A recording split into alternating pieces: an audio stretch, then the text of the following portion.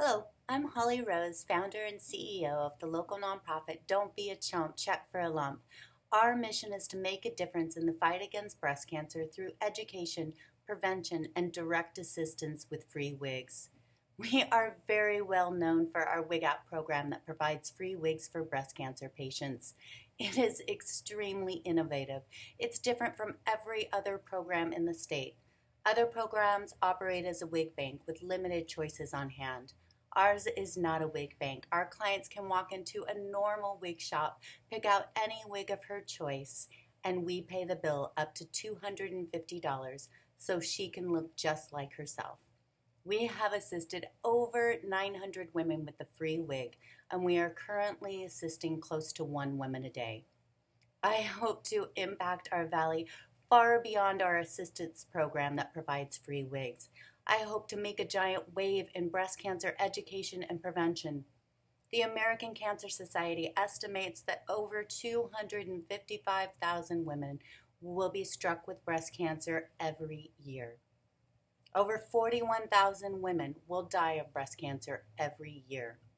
These dead women, if alive, would fill the entire Chase Field Stadium. I learned a large portion of these cases could be prevented. Mass women attend breast cancer awareness events and they walk away with the perception that they have been educated, when in reality, they learn very little about the disease and prevention. Through polling, I discovered women confuse screening guidelines, neglect self exams, and timely mammograms. They have no idea that 30% of all cancer is lack of proper nutrition and are absolutely flabbergasted to learn that many of their beauty and household products contain cancer causing chemicals. I approach women every day and I ask them if they would like to hear facts and prevention tips on breast cancer. And their response is like my 9 and 10 year old girls when I started talking to them about drugs. They covered their ears and they yelled out, I'm not listening, I'm not listening, I'm not ready for this. And they were ready. The majority of women are in our community are doing the same thing with breast cancer. They're overly optimistic regarding their risk. And they're thinking, it doesn't run in my family. I don't need to worry. And they don't take the time to educate themselves and learn the facts and make any changes, and they stay in denial. I can share with you what made me step up. I was 39 years old, and my friend shared a breast self reminder on Facebook. Whatever crazy reason, fate, God, luck, it stuck in my head, and I did a self exam that night, and I discovered a lump that turned out to be breast cancer. I went through nine months of horrifying treatment, and there was nothing pretty or pink about it. Nine months of lying on the couch and watching my girls walk out the door, watching my husband walk out the door, and watching my life pass me by. And for nine months, I asked God, Will I be here? Will I be here for my babies? to teach them, to guide them, to comfort them, encourage them, love them. Will I be here? And then I learned that less than 10% of breast cancer is hereditary. And let me restate that for you 90% of women who get breast cancer have absolutely no family history of breast cancer. A very large portion is preventable.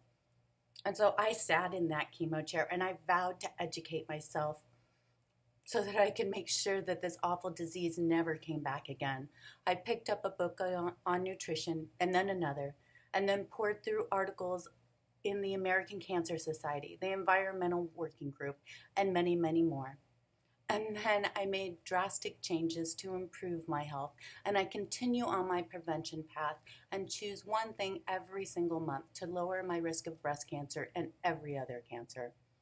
I'm asking women to do the same, to step up to prevention. It doesn't have to be scary and they don't have to cover their ears. It's like my daughters when we started talking about drugs. I didn't talk about needles and heroin first. I talked about smoking cigarettes and marijuana and how to say no and how to come to me for help. And we want women to do the same, to make baby steps. We want to provide an easy entry path for women to step up we're blazing a new trail, and companies are following us. Don't Be a Chump Check for a Lump has gathered the support from our local medical community with prestigious education sponsors like Arizona Oncology, Golly Plastic Surgery, John C. Lincoln, now Honor Health. We've gained the support of philanthropic leaders in our community like Copperpoint Mutual Insurance, Arizona Bank and Trust, Sunstate Equipment, Spinato's, and more. We've even gained the support of national sponsors like Hologic. And now we've gained the support of a national reality TV show, Every Color Matters, a Christian based company. Our nonprofit will be highlighted in one of their episodes in their series, and it will be aired nationally on Amazon and 22 additional networks. GCU can be highlighted too. Through Every Color Matters, we have a once in a lifetime opportunity to work with Sheryl Crow. Sheryl Crow is going to put on a concert for those who support Every Color Matters and those who support Don't Be a Chump Check for a Lump. Sheryl Crow is a breast cancer survivor herself and knows the devastation that is caused by breast cancer. So she is stepping up to help us make a difference. Sheryl Crow could also bring attention to GCU. We are taking this golden opportunity and hope you do too to reel women in for education. We are going to launch our Pink Out party in October and provide much more than pink tutus, tiaras, and awareness of the disease itself.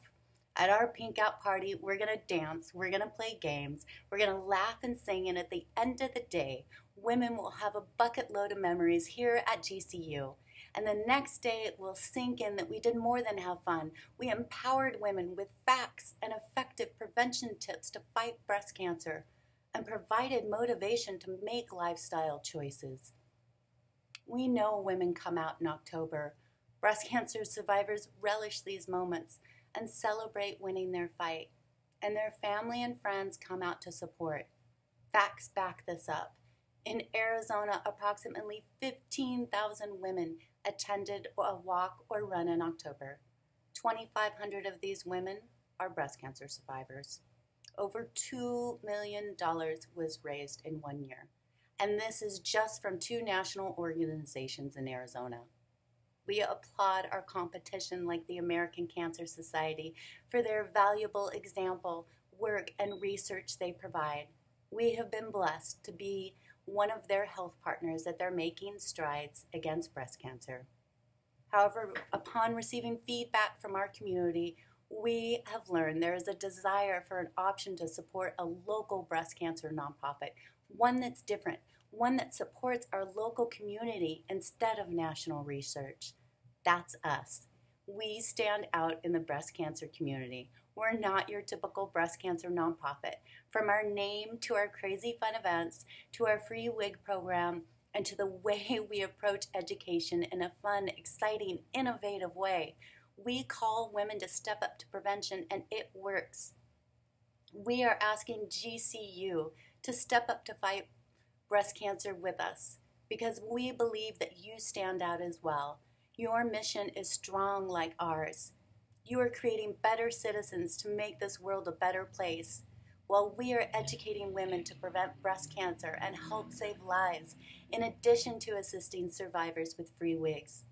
You're inspiring creative, critical thinkers, and we're inspiring women to make healthy choices and instill compassion and giving.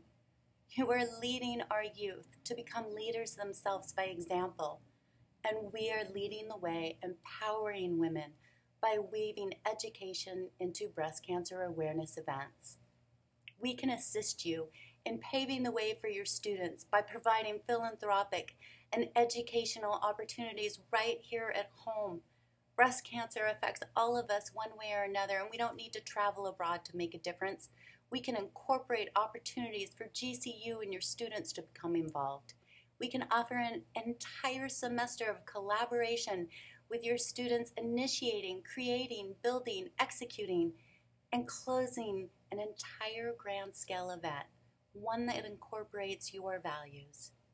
With help from your programs, including business, marketing, hospitality, health, theater, dance, and design, We can offer hands on experiences that your students can be a part of right here on campus and reach the emotional and spiritual rewards of giving and making a difference. With your leadership and innovation, you have created an economic engine in West Phoenix. I grew up in the West Valley, so I know the scale of your accomplishments. You are helping the valley to thrive, the West Valley to thrive. A partnership with our foundation will help provide fuel for your engine to drive even greater success into GCU in the West Valley. I'd like to share my personal experience in discovering GCU. One of my favorite charities to volunteer for outside of our nonprofit is the Back to School Drive. Me and my daughters, for years, went to a high school on the south side of town to assist students with shopping. And then one year it was moved to GCU. I'll never forget walking onto campus with my girls. I grew up in Phoenix and I remember GCU as a one building college with a mile of grassy land. No one I knew went there. I hadn't dri- driven by in years to see its growth, and I had no reason to ever consider it for my daughters. And then, on that hot summer morning, we walked onto a beautiful, inviting campus. I couldn't believe how large it had become. We spent the day in the luxurious arena, and I remember thinking, what a great opportunity for all of these kids to witness what it's like on a college campus, and how beautiful that GCU stepped up to provide that opportunity. As we left the building, I spotted a poster advertising the dance program event. My daughter is a dancer, a true die-hard, I just want to dance kind of girl. Being a dance major in Arizona, you don't have too many options. I had already looked at them. NAU had none. U of A was a top 10 dance school, and the realistic chance of her getting in was slim. We believed our only other option was ASU. The thought of a giant party school terrified my shy little girl who was afraid of the world. She's one of the few who says no to drugs and alcohol. She stands out too.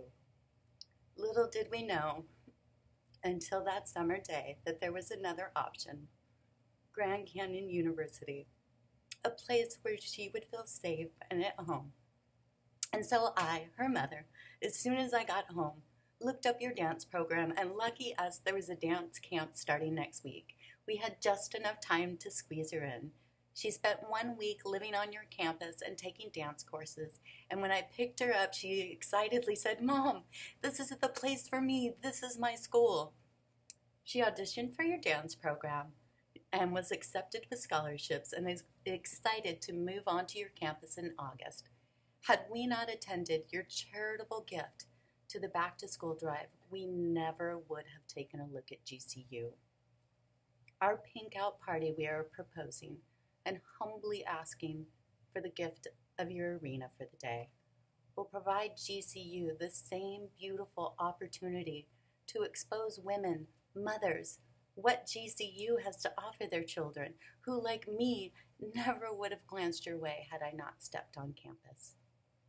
You will have the opportunity to showcase your school and how you stand out, how you are impacting the West Valley and creating leaders and critical thinkers who have compassion and spirituality. You also have the special opportunity to attract women through their sense of loyalty to supporting breast cancer. This branding is powerful, and the results of your donation will trickle down to impact your mission, increasing admissions, jobs in the Valley, improving the West Valley. Breast cancer is a multi million dollar entertainment industry fueled by women wanting to make a difference in breast cancer. We ask you, GCU, to align with us, align with these women, with Every Cancer Matters reality TV show, with Sheryl Crow, with our local media and our sponsors. With your help, we can also raise funds to continue our valuable programs. Education and prevention is vital to a cure. It will also assist us in sustaining our free wig program to provide every breast cancer patient the comfort and dignity they deserve. It will also allow you an opportunity to raise funds through your concessions. My path is not one I chose for myself, but one I feel God placed me on. I've always questioned, often, is this really my path, God? I'm scared to death of public speaking, and you've asked me to share my deepest, most vulnerable times with the world again and again. Really? This is my path? And every time I question God, Oprah staff would call, or Facebook headquarters wanting to fly me out, wanting to hear my story. It was if God Himself would slap me and say, Holly, yes, I already told you this is your path. Now go, share. And you can't really argue with God, or at least I can't. And so I did. I made it my mission to help save another woman, another mother, another wife, sister, or friend from breast cancer through early detection. My dream is to motivate women and young girls to actively take steps and make lifestyle choices to lowering their risk of breast cancer so they never have to go through this horrifying disease. Education and prevention is vital. My dream is to be able to continue to assist every woman going through breast cancer with a free wig. My path is my passion, and I believe God has led me every step of the way. I now believe He has led me to you. GCU, Lopes Up, please step up with me to fight breast cancer. 255,000 women do not have to suffer through breast cancer, and 41,000 certainly do not have to die. We can eliminate a large portion of these incidences. Together, we really can make a difference. I thank you so much for your time and your consideration. Live and give. Holly Rose.